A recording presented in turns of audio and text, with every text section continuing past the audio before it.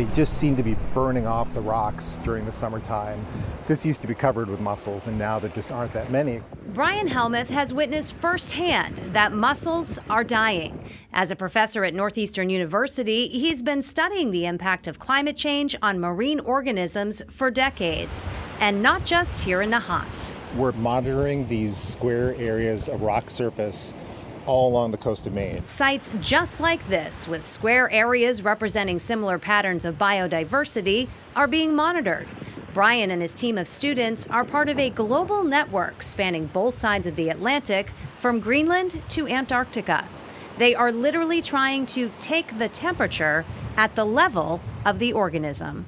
These are the loggers we use. We drill a small hole in the rock and embed them, and so it's just measuring the temperature of the rock surface, which is pretty similar to most of the animals. What they're measuring is not the air or water temperature, but really the temperature of the rock's surface, where the mussels live. And what they're finding is that it's too hot. It may be a, a 90 degree heat wave to a human, but it may be 110 degrees, 115 degrees for what these animals are experiencing. Which is pushing their lethal limits. This is called the robomussel. Uh, this is actually a computerized mussel that records the temperature that an actual mussel would experience. The data that they're collecting here in Nahant is part of a critical region globally. The Gulf of Maine is warming 99% faster than any other large body of water on the planet. The mussels play such a key role um, in coastal ecosystems like this. And so the fact that we've seen them declining over the past 20 years is, is really a, a warning sign. But to get the whole picture, they also have to look below the surface.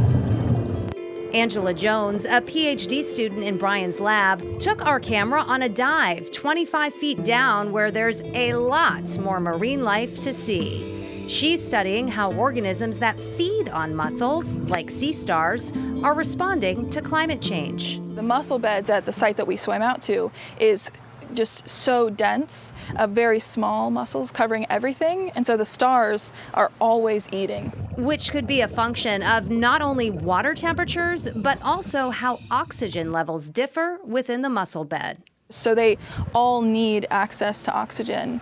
But if there's 100,000 of them in a very small space, then oxygen goes quickly.